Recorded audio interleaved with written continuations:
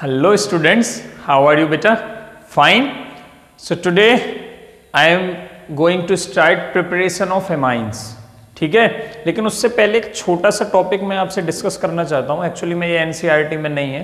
That is flipping of ammonia और amines ठीक है? ये फ्लिपिंग क्या होता है? फ्लिपिंग देखो जरा याद करो, अमोनिया का स्ट्रक्चर या एमाइन का स्ट्रक्चर याद करो। बेटा, क्या था? मान लो ये R1 था R2 लगाए और ये R3 लगाए। और यहाँ पे एक लोन पेयर था। ठीक है? इस नाइट्रोजन का हाइब्रिडाइजेशन बताओ बेटा sp3 ठीक है? ये कैसा है पता है? इसको थोड़ा सा ऐसे टर्न करो। तो आपने अम्ब्रेला देखा है? अम्ब्रेला ऊपर एक डंडा निकला रहता है और ऐसे फैला रहता है। ठीक है?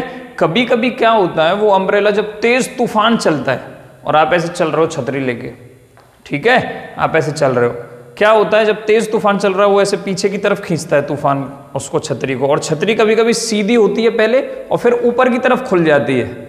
है ना? होता है? इसको बोलते हैं फ्लिपिंग इसको बोलते हैं flipping umbrella inversion that is called umbrella umbrella क्या हुआ? इन्वर्ट हो गया बेटा. अम्ब्रेला क्या हुआ? इन्वर्ट हो गया.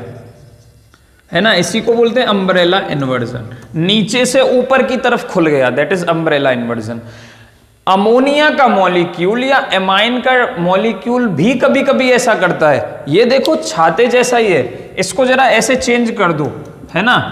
R1 R2 एंड R3 ठीक है, और ऊपर ये लगा है आपने इसको कहीं से थोड़ी सी, थोड़ा सा भी, थोड़ी सी एनर्जी चाहिए। बिल्कुल थोड़ी थोड़ी सी एनर्जी मिली।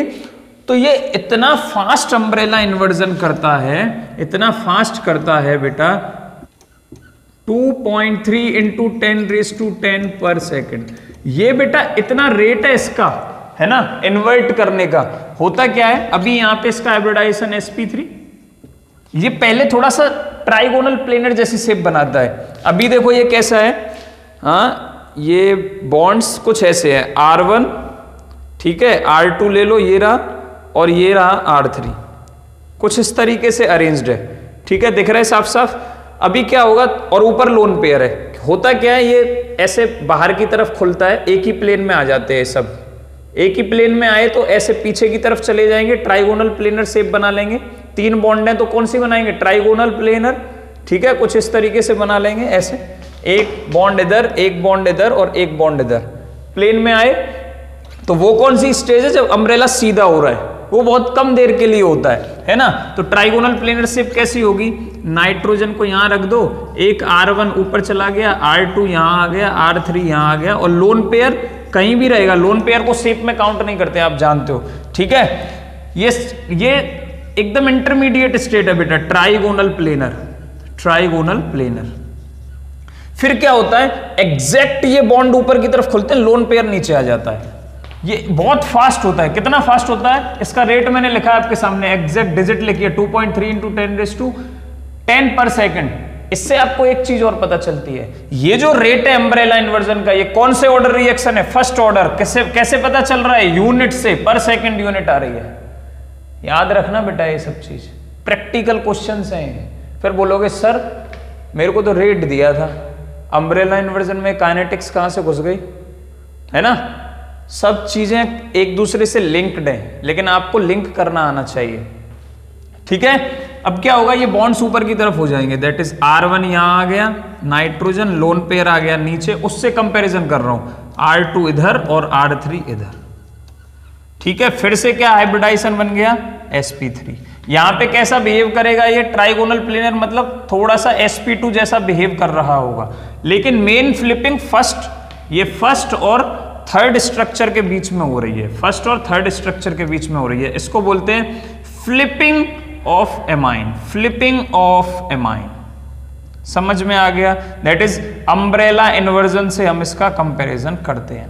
इससे फ़र्क क्या पड़ेगा? अब देखो। अगर एक एमाइन का मॉलिक्यूल कंफ्यूग्रेशन देता है आर कौन सा? R that is rectus clockwise तो दूसरा एमाइन का मॉलिक्यूल जो इसके जस्ट अपोजिट है एग्जैक्ट इसकी मिरर इमेज है। कैसे मिरर इमेज है? इस मॉलिक्यूल को बेटा यहाँ से उठाओ, यहाँ से उठाओ और यहाँ रख के देखो। ठीक है? मैं उस मॉलिक्यूल को उठा रहा हूँ। ठीक है? तो मैं यहाँ पे एक लाइन खींच देता हूँ। ठीक है, ये सब हटा रहा हूँ, थोड़ा सा जगह रहेगी। आर वगैरह भी बता दूँगा दोबारा, लेकिन मुझे पहले वो मॉलिक्यूल बनाने दो तो ज़्यादा समझ में आएगा। देखो, वो नाइट्रोजन ब्लैक मार्कर से ही बनाता हूँ। वो रहा नाइट्रोजन उस पर नीचे की तरफ़ लगाए लोन पेयर ऊपर यहाँ लगाए आर वन यहाँ लगाए आर टू और यहाँ लगाए आर थ्री अब जरा ठीक से देखो ये पहला स्ट्रक्चर है और वो थर्ड स्ट्रक्चर है। मैंने उसको उठा के यहाँ रख दिया। ये दोनों एक दूसरे की एग्जैक्ट मिरर इमेज है। एग्जैक्ट क्या है? मिरर इमेज है। मतलब एक और एग्जैक्ट मिरर इमेज है। फिर मिरर इमेज चेक कर ली। जरा चेक करो, क्या ये इसके ऊपर सुपर इंपोज होगी? ऊपर वाली को उठाओ, यहाँ पे लेके आता हूँ। नहीं होगी। लोन पेयर इस वाले बॉन्ड पे आ रहा है। आर यहाँ आ रहा है। सुपर इंपोज नहीं होगी। सुपर इंपोज का मतलब होता है एग्जैक्ट बिल्कुल फिट हो जाना उसके ऊपर। नहीं हो रही है ना फिट कुछ बॉन्ड्स एक्स्ट्रा निकलेंगे।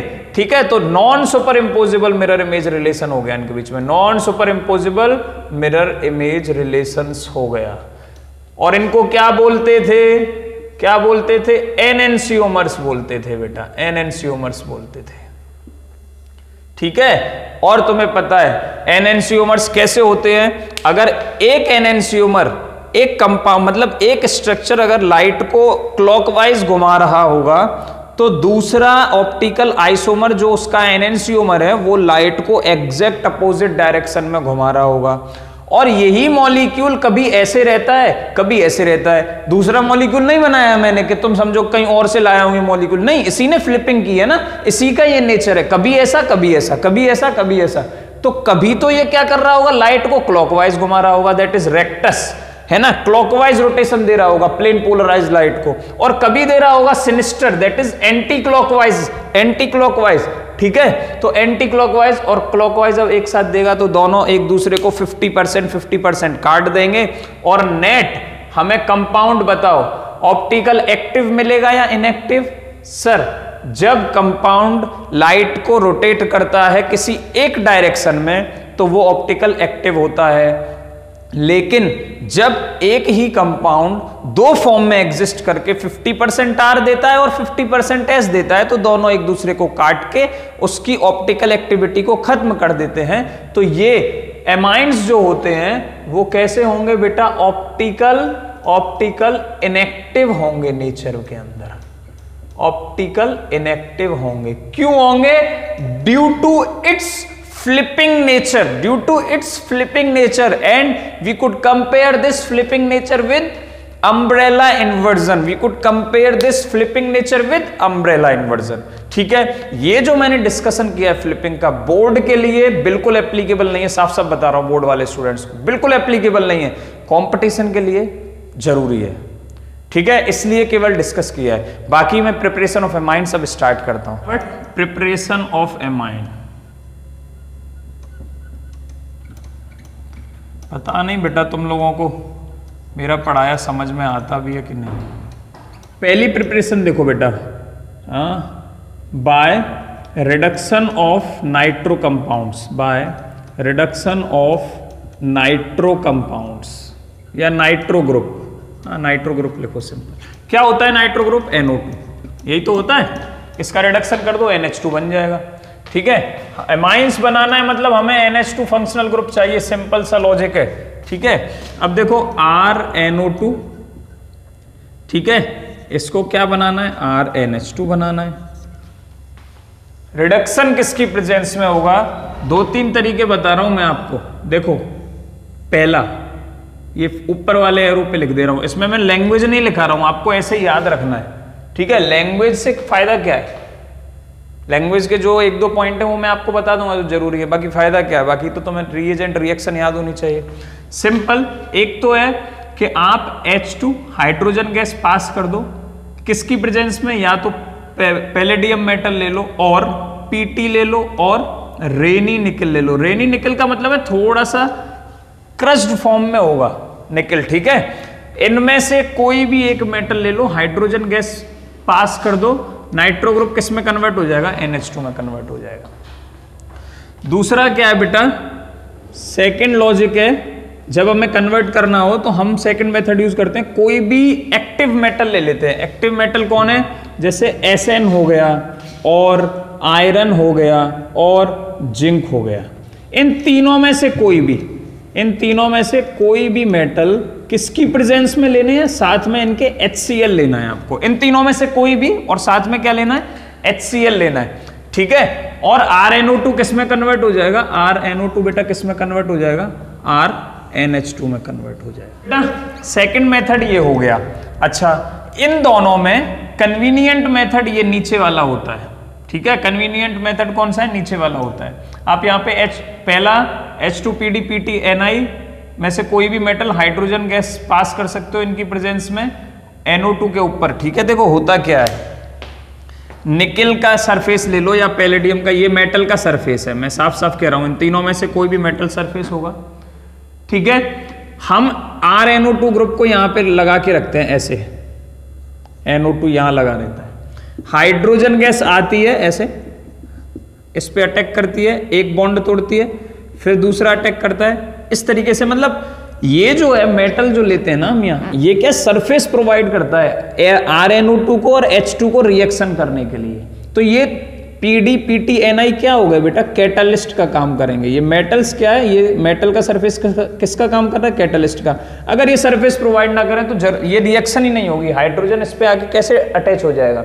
इसलिए हम तीनों में से कोई भी मेटल लगाते हैं। पीडी पीटी या रेनी निकल ठीक है? और दूसरा मेथड एस एन और एफई और जेड एन इसकी प्रेजेंस में भी ये रिडक्शन हो सकता है। एक्टिव मेटल ले लो हाइड्रोक्लोरिक एसिड की प्रेजेंस में।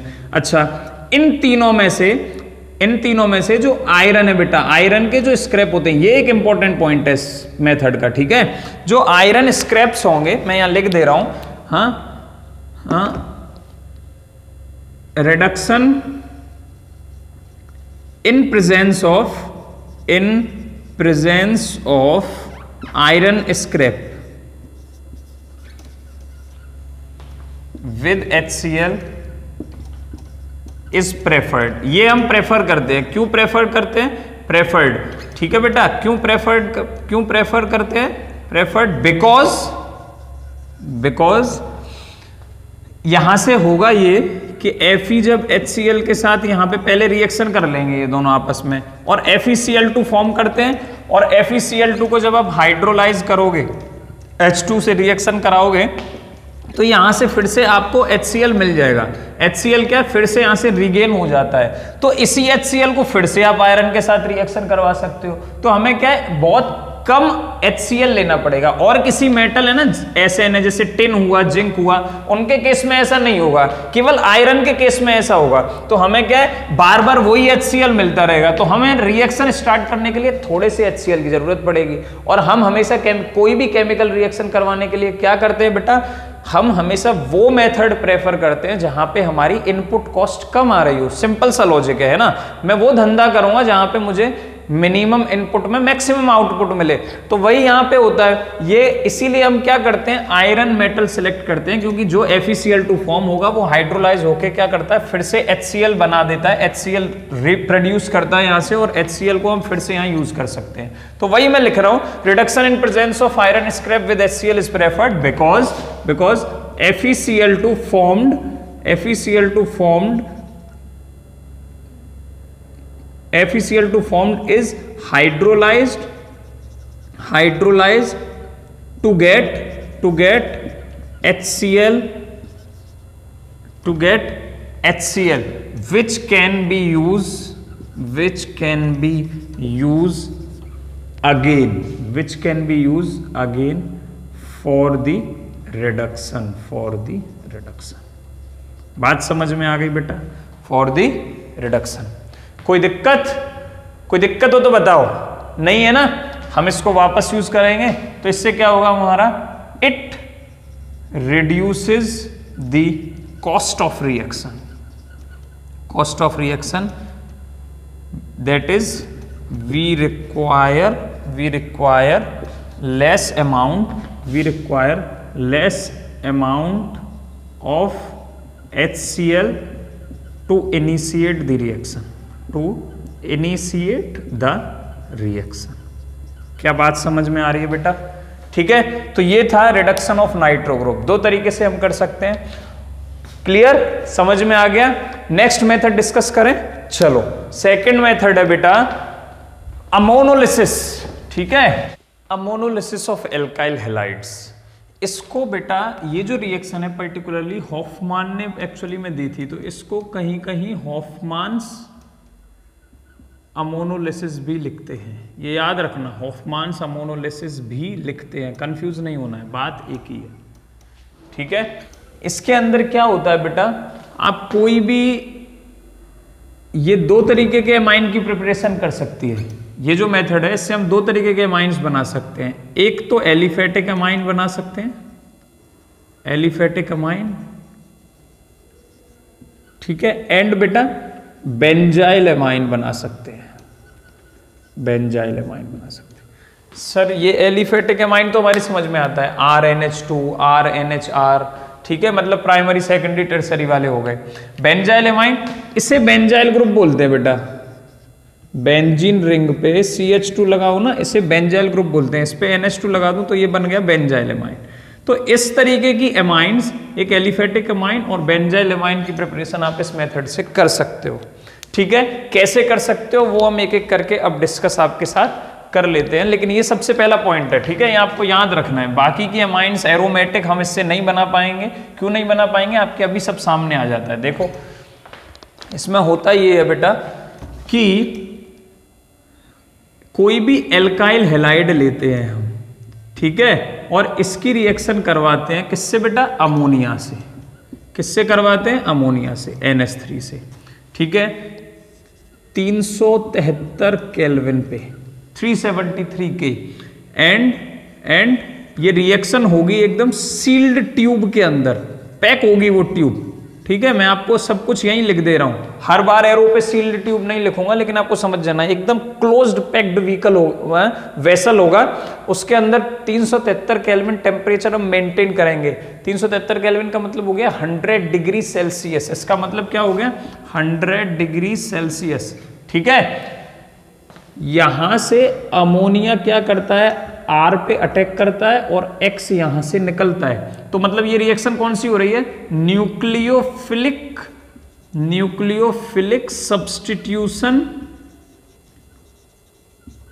of ammonia of ammonia sorry nucleophilic substitution nucleophilic substitution of alkyl halide alkyl halide by ammonia by ammonia कौन है न्यूक्लियोफाइल कौन बन रहा है यहाँ? अमोनिया बन रहा है। तो होता क्या है यहाँ पे? आर एन एच एच पे क्या लगा है? तीन हाइड्रोजन लगे हैं बेटा। ठीक है? और इसी से आके ये नाइट्रोजन ने कितने बॉन्ड बना लिए? चार बना लिए। मतलब इस पे पॉजिटिव चार्ज आ गया। तो R N S three positive और यहाँ पे इसी के पास एक्स नेगेटिव भी, यहीं इसके पास ही बेटा घूमता रहेगा। ठीक है तो ये क्या बन गया? ये क्या बन गया? एमोनियम सॉल्ट बन गया है। देखो ठीक से, है ना? एन पे जब चार बॉन्ड बने हो नाइट्रोजन ने जब चार बॉन्ड बना रखे हो, ऊपर पॉजिटिव चार्ज हो तो इसे बोलते हैं अमोनियम इसे क्या बोलते हैं बेटा? अमोनियम ठीक है? तो यहाँ पे ये क्या बन गया? अमोनियम सॉल्ट बन गया। अमोनियम एल्काइल हेलाइड ठीक है? फिर से ये क्या करता है? यही टूट के NH3 की प्रेजेंस में क्या दे देता है? RNH2 दे देता है। ठीक है? और यहाँ से ये पूरा निकल जाता है। ठीक है? ये पूरा निकल जाता है। इसमें से एक हाइड्रोजन इसके साथ अटैच हो जाएगा और NH2 R पे जाके लग जाता है। तो यहाँ से ये चीज़ें निकलती हैं, एन एच फोर पॉजिटिव और X नेगेटिव ठीक है? अमोनियम हेलाइड निकल जाएगा। अमोनियम हेलाइड निकला बेटा, और एमाइन बन गया, वन डिग्री एमाइन ठीक है? तो मैं नीचे सेंटेंस को अब कंप्लीट कर सकता हूँ। क्या? Nucleophilic substitution of alkyl halide by ammonia prepares prepares क्या बना रहा है? Ammonium salt ammonium salt of alkyl halide alkyl halide and and this reaction this reaction is called is called ammonolysis ammonolysis name reaction आ गई जी। Important ammonolysis simple सी है। क्या किया है?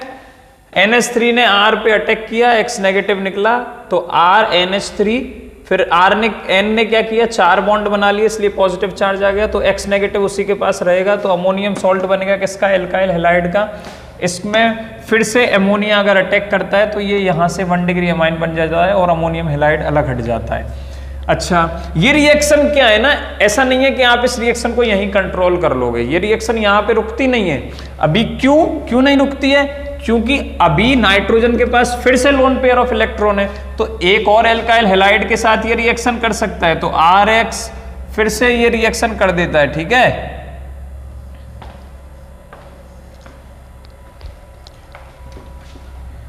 होता क्या बेटा, ये जो R N H two form हुआ है आर एन एच टू जो ये फॉर्म हुआ है, ये क्या है? वन डिग्री अमाइन है। ये वन डिग्री अमाइन से आप अभी और आर एक्स को आर एक्स की रिएक्शन करवा सकते हो। और देखो क्या फॉर्म होगा? यहाँ पे फिर से ये इस पर अटैक करेगा एक्स नेगेटिव निकलेगा। यहाँ फिर से क्या बनेगा? R two N H two positive X negative बनेगा। फिर अमोनिया की प्रेजेंस में ये आगे क्या दे देगा? आर टू एन एच दे देगा। सेकेंडरी अमाइन बन गया। ठीक है? फिर ये रिएक्शन अब भी यहाँ नहीं रुकेगी। मतलब यहाँ पे क्या है? आपको मिक्सचर मिलेगा। वन डिग्री अमाइन साथ में टू डिग्री अमाइन भी मिलेगा, अगर रिएक्शन कंट्रोलेबल नहीं है। ठीक है? फिर क्या हो सकता है? सर, फिर से ये तो ऐसे अमोनी उससे आर एक्स से रिएक्शन कर जाएगी। एक और एल्काइल हेलाइड आ जाएगा। हाँ फिर से आल उससे रिएक्शन करती है। ये कब तक रिएक्शन करती रहेगी? जब तक ये R three N that is three degree amine बन गया। अब भी इसके पास लोन पेयर ऑफ़ इलेक्ट्रॉन है। साइड प्रोडक्ट अब नहीं लिख रहा हूँ मैं। तो ये फिर से रिएक्शन कर सकता है आर एक्स से? हाँ फिर से कर सकता है। फिर से करेगा आर आ गया एक्स नेगेटिव निकल गया। तो आर फोर एन पॉजिटिव आ गया। अब ये अटैक नहीं कर पाएगा नाइट्रोजन। क्यों? क्योंकि चार एल्काइल ग्रुप अटैच है नाइट्रोजन ने चार बॉन्ड बना रखे हैं, अपने सब इलेक्ट्रॉन्स तो दे दिए। खुद के पास पॉजिटिव चार्ज है, खुद के पास जब इलेक्ट्रॉन नहीं है तो अब न्यूक्लियोफिलिक अटैक कहाँ से करेगा एल्काइल एलाइड के ऊपर? तो ये यहाँ आके बेटर रुकता है। यहाँ पे आके इट स्टॉप्स हेयर ये रिएक्शन यहाँ आके रुकती है। तो इस रिएक्शन का एक डिसएडवांटेज आपको बोर्ड पे ही दिख रहा होगा कि ये जो अमोनोलिसिस वाला मेथड है, इससे हमें इससे हमें क्या मिलता है? It yields it yields it yields ammonolysis yields mixture of amines mixture of amines mixture मिलता है बेटा। है ना? आपको दिख रहा है वन डिग्री मिला, फिर से लोन पेयर ऑफ़ इलेक्ट्रॉन है, फिर से एक और एल्काइल एलाइड से रिएक्ट कर सकता है। टू डिग्री बनाएगा, फिर रिएक्ट करेगा थ्री डिग्री बनाएगा, फिर रिएक्ट करेगा, जब जाके ammonium salt of alkyl halide बनाएगा। ठीक है? Ammonium salt of alkyl simple तो यहाँ पे क्या मिक्सचर ऑफ़ एमाइंस मिलता है? यही इसका डिसएडवांटेज है। केवल एक नहीं दे रहा है, चारों साथ में दे रहा है। चारों का मुझे कुछ करना थोड़ा ही है। तो फिर सर मान लो मुझे वन डिग्री अमाइन चाहिए तो मैं क्या करूँगा? फिर मुझे क्या है? एक्स्ट्रा प्रोसेस डालनी पड़ेगी। मैं यहाँ से वन डिग्री अमाइन के लिए इस मिक्सचर ये जो मिक्सचर बन रहा है ना, तीनों का one degree amine two degree amine सब एक साथ बन रही होंगी एक बीकर के अंदर। One degree plus two degree plus three degree plus three degree तक जाएगा प्लस फोर डिग्री भी हो गई। वो क्या है? ये क्या है? फोर डिग्री अमाइन है। है ना? मैंने आपको बताया था, ये क्या फोर डिग्री अमाइन है? इसमें से मेरे को क्या करना है? खाली वन डिग्री चाहिए तो मैं क्या करूँगा फिर? इससे रिएक्शन कराऊँगा एन की स्ट्रॉन्ग बेस की। तब जाके मुझे आर एन एच टू मिलेगा। तो एक लंबी प्रोसेस हो जाती है है ना? फिर मैं क्या करूँगा? इस मिक्सचर से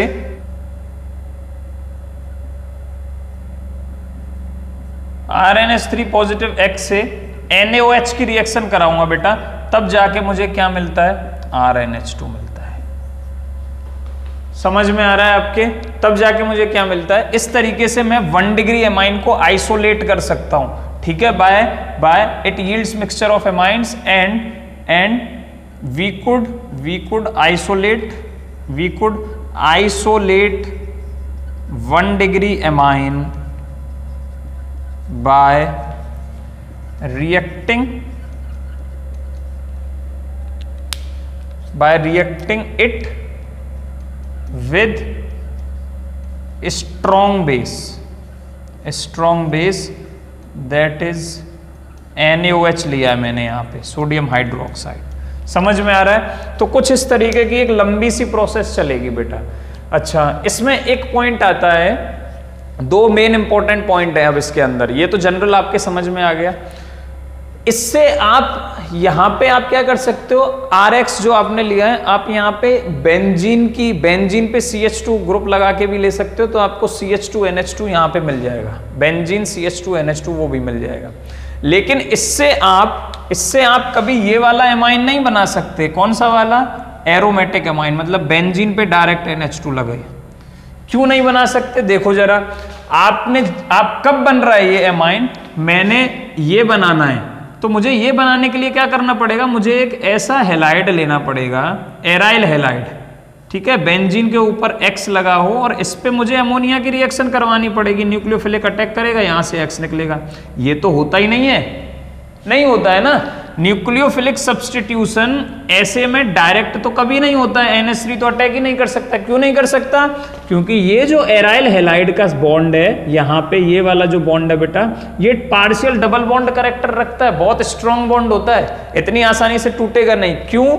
अब समझ में आ रहा होगा एराइल हेलाइड न्यूक्लियोफिलिक सब्सटीट्यूशन नहीं देते हैं। इसलिए हम यहाँ से एरोमेटिक एमाइन नहीं बना पाएँगे। याद रखना। तो फिर एरोमेटिक अमाइन बनाने के लिए कौन सा मेथड एप्लीकेबल हो गया? हमने जो इससे पहले मेथड सीखा था, उसमें आप बना सकते हो। आप क्या कर सकते हो? बेंजीन रिंग पे NO2 ग्रुप इंट्रोड्यूस कर दो नाइट्रेशन करके। नाइट्रेशन कर दो बेंजीन का। NO2 ग्रुप इंट्रोड्यूस हो जाएगा ना? किसकी प्रेजेंस में? HNO3 और H2SO4 की प्रेजेंस में। ये सब आपने 11th में पढ़ा है। नाइट्रेशन कर दो NO2 आ गया। अब इसका रिडक्शन कर दो। किसकी प्रेजेंस में? Fe HCl की प्रेजेंस में रिडक्शन कर दो NO2 किसमें कन्वर्ट हो जाएगा? NH2 में। अभी सीखा है, एक मिनट इसीलिए, एक मिनट पहले ही तो सीखा है। इसीलिए इससे पहले वाला मेथड इससे ज़्यादा यूजफुल हो जाता है।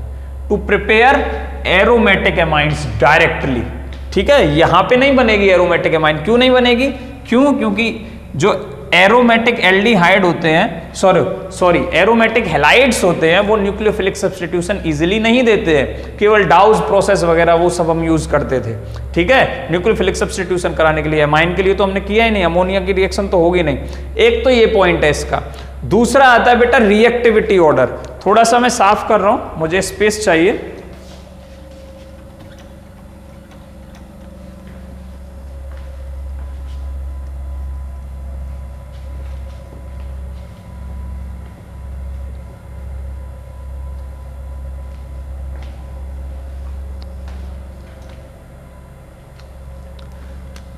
दूसरा आता है बेटा reactivity of reactivity order of alkyl halide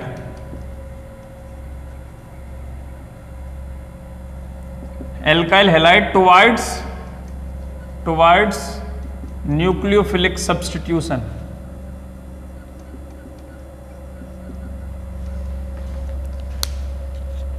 nucleophilic substitution of ammonia बताओ, आप ही बताओ, चलो, कैसे होगा? सिंपल सा लॉजिक है।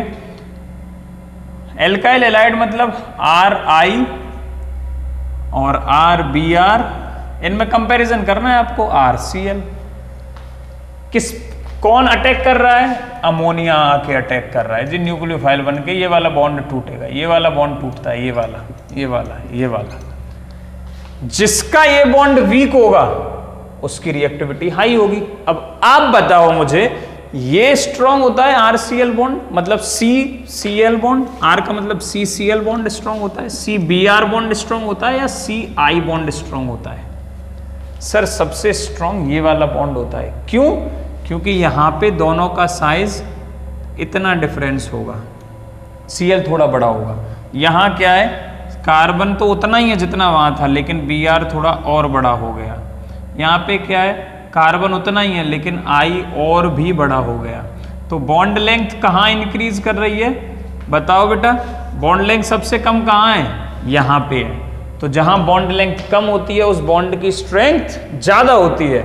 जहाँ बॉन्ड लेंथ थोड़ी बढ़ी तो बॉन्ड स्ट्रेंथ थोड़ी घटी। जहाँ बॉन्ड लेंथ सबसे ज़्यादा बढ़ी वहाँ पे बॉन्ड स्ट्रेंथ सबसे कम होगी और बॉन्ड आराम से ब्रेक होगा। तो reactivity order of R X alkyl halide toward nucleophilic substitution of ammonia क्या होगा? सबसे ज़्यादा रिएक्टिव ये होगा क्योंकि सी का बॉन्ड सबसे वीक है। क्यों? क्योंकि सबसे ज़्यादा बॉन्ड लेंथ है। देन सी देन ये। समझ में आ गया? ऊपर देखोगे तो R I R B R और आर सी आर एक ये पॉइंट आपको याद रखना है।